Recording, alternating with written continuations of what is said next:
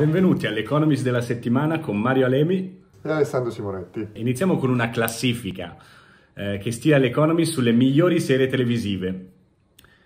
Eh, beh, ne elenchiamo, ne elenchiamo tre e poi dopo metteremo il link al, all'articolo dell'Economist. Al primo posto Better Call Saul, al secondo posto The Crown e al terzo posto The Great. Better Call Saul è un prequel di Breaking Bad, mentre The Crown, altra serie famosissima che tutti conosciamo, eh, finisce con la quarta stagione, siamo negli anni Ottanta, in cui dieci anni dopo l'ingresso della, della, della Gran Bretagna nell'Unione Europea è inizio del periodo di ascesa economica. Di ascesa economica della Gran Bretagna con il cosiddetto Big Bang attuato dalla, da Margaret uh, Thatcher, cioè la deregulation, de deregolamentazione dei mercati finanziari che hanno permesso a Londra, c'era un bellissimo articolo del di fine anni 2000 sull'Economist in cui descriveva la, la Londra pre-Big Bang e post-Big Bang, dice pre-Big Bang c'era solo puzza di cavolo in giro. Nel 2009 altro che puzza di cavolo, ci sono i migliori ristoranti al mondo. Comunque tutti i miei amici che erano stati a Londra nel, negli anni Ottanta dicevano che era terribile. È drammaticamente, tragicamente buffo che The Crown eh, parli di quel periodo storico proprio mentre nel frattempo eh, stiamo assistendo, anzi a, abbiamo raggiunto l'ufficializzazione della Brexit a tutti gli effetti, infatti eh, l'Economist ehm, ha dedicato un articolo a riguardo che si intitola Britain has lost the EU, can it find a role? Potrà trovare un ruolo? Sì, una delle frasi che mi sono piaciute di più di, di questo articolo è finalmente libera da un'infinita eh, serie di riunioni con, eh, eh con l'Unione Europea, i diplomatici britannici finalmente avranno più tempo per il globetrotting, per andare in giro per il mondo. Ovviamente è semi-ironica questa frase, ma è, è, anche tragica. Cioè, sembra che adesso, eh, quello dice l'economista, la Gran Bretagna, per far dispetto a se stessa, non voglia più parlare con l'Europa e quindi sta andando in giro per il mondo a cercare accordi finanziari con Filippine, India, che eh, saranno anche economie importanti, però i, i, tre grandi poli mondiali al momento, diciamo, per ordine di, di trend di crescita sono Cina, Stati Uniti ed Europa. La Gran Bretagna è alle porte dell'Europa, è nel continente europeo, forse sarebbe meglio che, che, che iniziasse a parlare seriamente con l'Europa. La Gran Bretagna ce la farà o non ce la farà da sola? Allora, secondo l'Economist, che comunque è inglese, e mi trovo assolutamente d'accordo, la Gran Bretagna, poi alla fine parliamo di Inghilterra, ha, ha, ha dei, degli asset enormi. Eh, allora, prima tra tutti il, i servizi segreti. Cioè la Gran Bretagna è l'unico paese in Europa sicuramente che ha dei, dei servizi segreti che conoscono la matematica.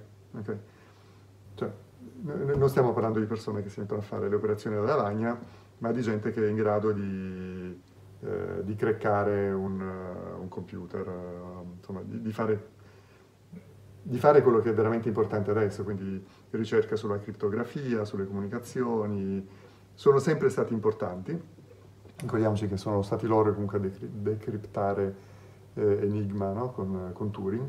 Hanno una scuola matematica importantissima da Cambridge eh, e poi Oxford e quindi questo sicuramente per l'Europa è una perdita enorme.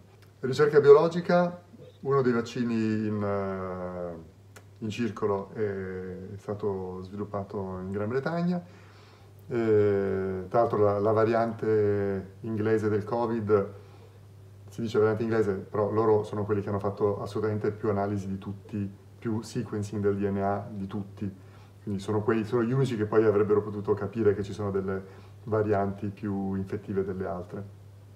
Perché sono avanti in questo? Eh, università hanno le migliori, ah, le loro università sono tra le migliori al mondo, Oramai le università sono principalmente ovviamente americane, cinesi, le, le big, no? e, e, britanniche comunque.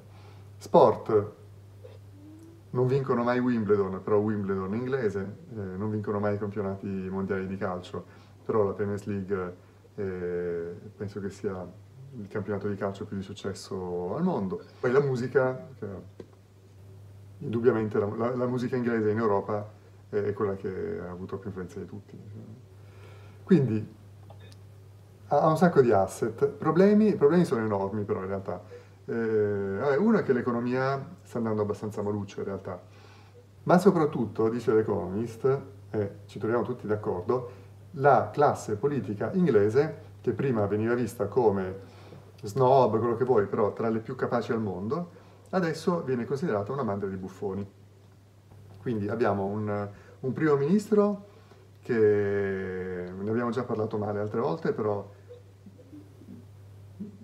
praticamente fa, fa, gli accordi, poi fa, cioè, firma un accordo internazionale, poi dopo un anno dice ah no ma scherzavo, noi questo accordo non lo rispettiamo. Adesso le, le frasi che, che, utilizza l'Economist è eh, che praticamente la, eh, se fosse una persona la Gran Bretagna è mentalmente instabile. Dice ha prodotto un enorme ammontare di volatilità in politica estera.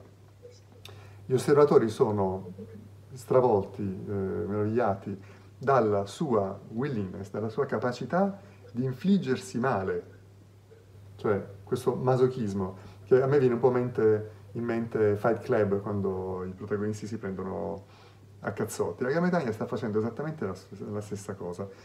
Dice, ma soprattutto alla mancanza di un piano in fare ciò che ha voluto fare lei, no? E dal caos che ne ha fatto scaturire. Cioè, voglio andarmene, va bene, quali sono i piani? Non ce li abbiamo, va bene, cerchiamo di trattare, alla fine si fa un accordo, ah no, ma noi non lo rispettiamo. Cioè, sta, sta facendo, se, se qualcosa si poteva fare di sbagliato, di sicuro l'ha fatta. È vero che i tempi sono cambiati, però la Gran Bretagna storicamente ha dimostrato di essere una potenza che poteva contare su se stessa e farcela da sola. Sì, però aveva un enorme impero e l'impero, un po' per definizione, è una, un'organizzazione che sfrutta il, il lavoro altrui. No? Tipicamente hai una parte dell'impero che lavora e viene tenuto in regime di schiavitù o schiavitù come nell'impero inglese. Poi è molto intelligente, molto brava, però deve, ormai è come una musicista, la Gran Bretagna, l'Inghilterra, che è molto virtuosa, si rifiuta di giocare, di, di suonare con una qualsiasi orchestra importante. No, vuole fare solo la solista, va bene, fai la solista, però purtroppo la musica oramai eh, non, non, si fa più da soli. E questa qui da sola si mette a fare pernacchi alle, a una delle tre orchestre più importanti, cioè quella europea, eh, scorreggiare, cioè, eh, sembra una pazza furiosa. Okay, non, sarà anche geniale in alcune cose, ma non è più certamente affidabile. Prima quando stavamo chiacchierando, eh, per farmi capire meglio ehm, eh, il fenomeno della Brexit, mi hai citato un film dal titolo Brexit The Uncivil War e hai anche utilizzato una, una, un'arguta citazione di Tolstoi. Sì, ah, eh, Tolstoi in uh, Guerra e Pace se la prende sempre con i grandi condottieri. Eh, dice si credono grandi, ma in realtà quello che succede non è merito loro, è merito di altre persone no, del, del, del, del, singolo nella massa che fa andare avanti per caso la storia. In questo caso il singolo che ha fatto cambiare la storia si chiama Dominic Cummings, era il capo stratega, eh, consigliere stratega di Johnson fino a un mese fa, quando se n'è dovuto andare per eh, uno scandaletto sul Covid, e che aveva avuto l'intuizione che la politica era cambiata e quindi nel nel 2016 ha fatto una campagna elettorale per far vincere il Brexit basata esclusivamente sui social network.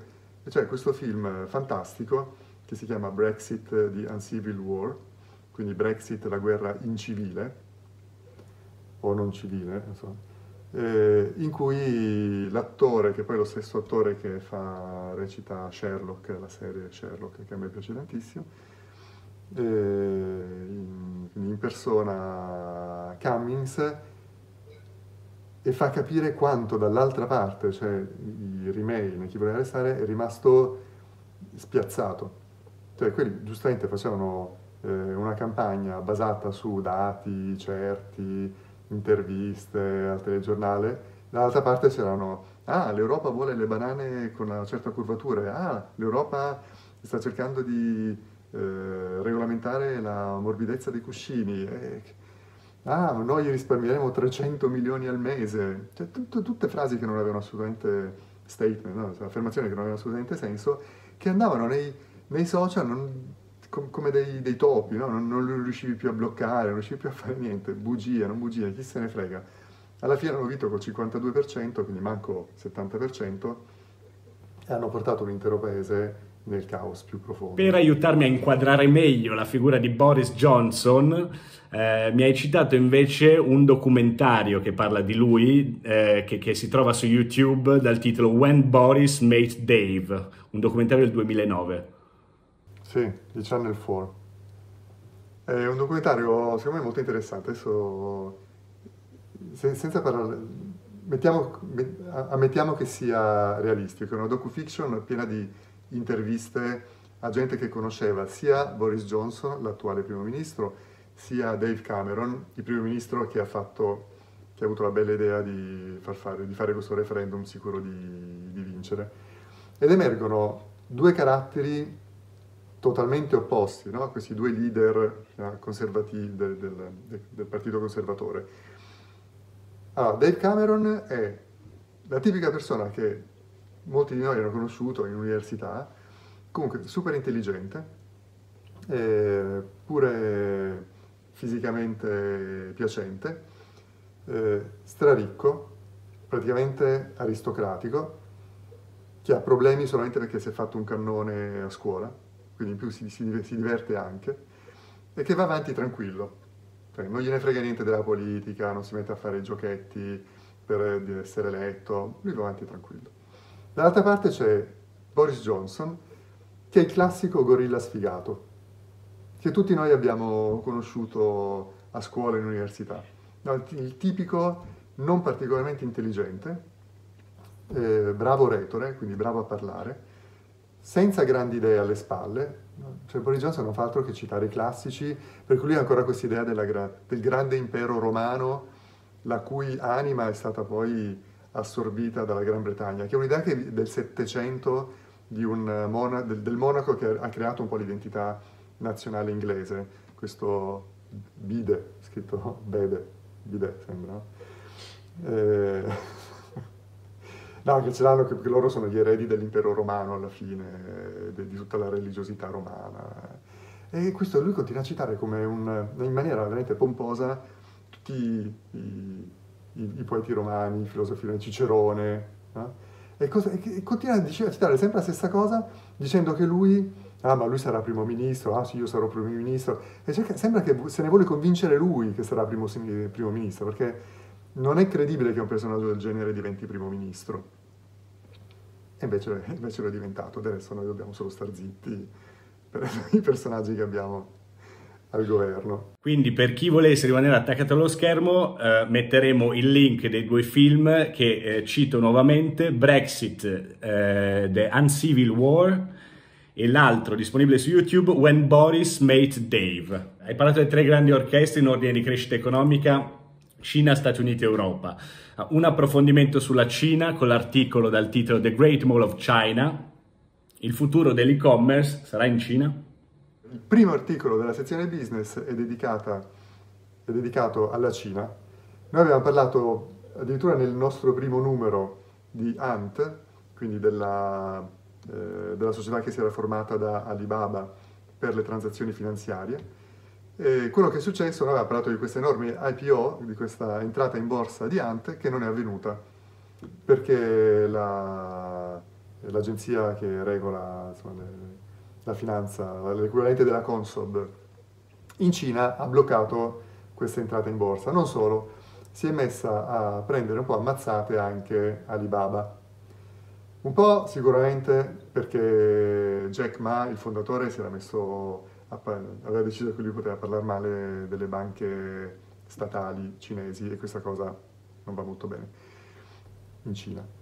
Eh, un po' perché obiettivamente Alibaba ha delle pratiche terribili e così anche Ant. Non, non, noi abbiamo parlato solamente del lato buono di, di Ant, no? del fatto, del lato buono, della potenza di Ant nell'analizzare i dati. Noi abbiamo detto che per esempio Ant fa una cosa vietatissima in, uh, e Alibaba fa una cosa vietatissima in Europa, e cioè dare prezzi diversi a persone diverse. Siccome analizzano un sacco di dati, loro sanno se tu eh, hai una disposizione alla spesa più alta di me e quindi ti alzo il prezzo. Cioè, il prezzo dipende da chi sta navigando sul, eh, sul, sul sito, cosa ovviamente evitatissima, e ne fanno tante altre. Quindi finalmente il, insomma, il regolatore cinese ha cominciato un po' a mettere il piede sul, sul freno. Perché è importante questo? Perché in realtà in Cina sono tre società che hanno il 90% di tutto. A noi sembra che Google, Facebook e Amazon siano grandi, ma in realtà hanno tutti, anche loro tre insieme, meno della metà, nel senso che abbiamo tante società, perché per tutte le transazioni finanziarie, comunque, sì, c'è PayPal, però c'è Mastercard, c'è Visa, eh, è vero c'è Amazon, ma un sacco di transazioni avvengono attraverso Shopify, eh, c'è eBay, c'è, maggior varietà. Da loro il 3%, eh, da loro tre società hanno tutto, sono sia banca sia e-commerce e sono tre in tutto, fine. Sono anche social network, tutto quanto. Quindi obiettivamente la concentrazione di potere è enorme e può, e può essere veramente una minaccia eh, anche per il governo. Qua dice, perché però perché dice che il futuro comunque in Cina? Perché in Cina comunque il mercato dell'e-commerce è di 2000 miliardi, che è il mercato dell'e-commerce europeo più americano insieme. Cioè l'e-commerce in Cina è enorme. Il tutto gestito da altre società, praticamente. Quindi mi sembra, eh, scusate, benvenuta la notizia che il regolatore cinese ha deciso di, comunque, di di, di, di, regolare un pochettino. Vedo un pattern eh, in quello che hai detto, perché noi qui in Occidente si dice sempre eh, i cinesi non lo sanno fare, i cinesi copiano, noi lo sappiamo fare meglio di loro, eppure poi alla fine i cinesi sanno fare le cose meglio di noi e ad un prezzo estremamente più competitivo. Esatto, sì. È quello che è successo per, eh, tipo per i pannelli solari, per l'energia nucleare, che adesso loro sanno fare, noi no, praticamente e quindi conclude l'Economist con una frase molto breve, watch and learn, guarda e impara. Adesso siamo noi probabilmente che presto dovremo guardare e imparare dalla Cina.